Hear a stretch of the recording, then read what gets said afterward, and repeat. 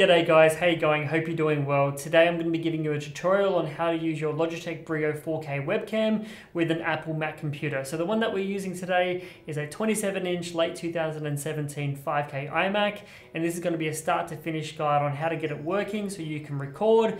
Um, if you want to stream, you can stream and if you want to just do it for a FaceTime call or for photo booth, you can use it for that as well. So if you like this video, hit the like button, get subscribed and if you've got any comments or questions, let me know down in the comment section and let's begin. Alrighty, so if you're watching this video, then I'm assuming you've got the webcam already and you're just having a little bit of, I guess, trouble trying to get the webcam to do what you want it to do, which might be recording so you can maybe make your own tutorials or podcasts or maybe get it set up for streaming or even just something to replace the webcam that is on your iMac, which might not be doing uh, too well. But this is not just for iMacs, this can work for your MacBook Pro. Um, it can work on anything that is Mac based. Um, Apple doesn't really include any applications for managing the camera, so I'm going to be showing you how to go ahead and I guess get it all working. Now, a few things as well. I'm assuming that if you're watching this, you know how to install and download applications and that you've already got your webcam plugged into the USB port on the back of your um, iMac or onto the side of your MacBook Pro, or even if it's a Mac Mini, you've got it already plugged in. Once you've got it actually plugged in, you've got it all connected, then you'll need to go to a website called obsproject.com. So if you have a look on the screen here with me, um, once you go to the OBS project website, you'll get obviously three options here that says Windows, Mac, or Linux. We're going to click the Mac option. We're going to download that file. It's going to go to your downloads folder, and then you're going to install the application. Once you've got the application installed, then you can actually use the webcam to record or stream or whatever you want to do. So we'll minimize the website and we'll go into um, our applications folder and you should hopefully have, let me just quickly find my apps folder here, um, OBS down in your applications and we'll open up that program and you should have a window like what I've got going on here. It does look a little bit intimidating, but if you just take your time with it, um, it is actually quite simple to use. And this is what you will need to use um, if you just want to do some, I guess, webcam recording. Like I said, if you want to make a podcast or making tutorials or something like that for a friend or a family member, um, or if you want to do live streaming on like Twitch or YouTube or Facebook, um, this can, uh, sorry, this can be an application that you can, um, I guess, stream with if you want to do that. So once you've got OBS launched, you should have a sources window, um, I guess, or a column in the sort of left-hand side of your screen. And if we go ahead, I'm just actually going to remove it because I've already done this once before you're going to have an option to click and add a source. So we'll click the plus button and then we'll click uh, where it says video capture device. And then we're going to create a new video capture device. You can actually name this if you want to, if you've got more than one camera. So we're just going to call it Brio 4K. We're going to press OK, and then we have an option here for which device we want to use. So we'll select Logitech Brio, obviously. We're going to untick the preset button and we're going to manually choose our resolution. So I find that this webcam, I guess it's really up to you what setting you choose, but I find 1920 by 1080 and then changing the FPS value to 60 um, gives you the best and the smoothest image.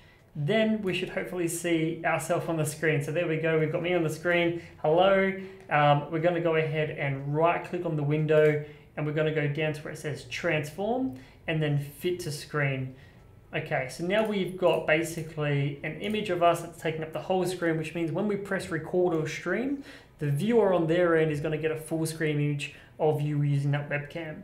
If we want to go ahead and change the quality for our recording, um, we go to the settings on the right hand side of OBS, we go down to the output section, and you can see you've got the option for recording path, so you can choose where the file saves to. Um, you can choose your quality. So I've actually chosen high quality, medium file size, and then you can choose your format. So I've chosen MP4. That's what Apple likes. Um, that's what QuickTime supports. And then the software X264, you can just leave that alone. Once we've done that, we press OK, and then we can hit start recording. And you can see as well that it's detecting the microphone on the webcam. So when we press record, it's going to capture the video and it's also going to capture the audio. if you want to go ahead and add some color correction to the camera, you can actually do that by right clicking on the source, which is your Brio 4K webcam. So if we right click and go down to where it says filters, we can actually go to the effects filters down the bottom here and we can add color correction. So then once we do that, we have the option to adjust the contrast, uh, the gamma, the brightness, the saturation, hue shift, and opacity. So you can do a whole bunch of things. Um, and then if you know you want to go back to your defaults, you can press default and it'll revert it all back to, I guess, what it thinks is um, the right setting for the camera. So that's if you want to go ahead and, like I said, uh, use it for recording or for streaming. Um, use OBS, it will definitely make your life a lot easier.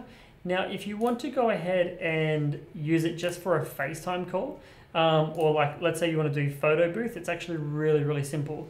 Just open up your photo booth, and instead of where it says um, camera at the top here, and it's by default picking your FaceTime camera, you just want to click Logitech Brio instead, and it will switch itself over um, to the Logitech Brio webcam. I guess the only problem that you might find using Photo Booth or FaceTime is you won't have any fine control over the color, the resolution, or anything else. So it's really just only going to give you the one setting. Compared to a PC, you have all the options available to you, but with a Mac, it only unfortunately makes it available in one resolution with one uh, frame rate, which I think if you're going to be using this camera, you're probably going to be doing something a little bit more complex than just a FaceTime call anyway. So that's why I highly recommend using OBS for doing your um, recordings if you're going to upload it to YouTube or Facebook. So that's the tutorial. Hopefully that made sense. If you have any questions or if I skipped something or missed something or you want some clarification, let me know in the comment section. Um, get subscribed to see more videos like this and I will see you in the next one. Cheers.